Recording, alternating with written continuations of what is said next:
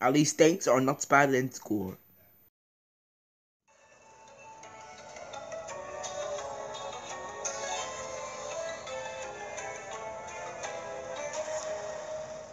Everybody, class dismissed.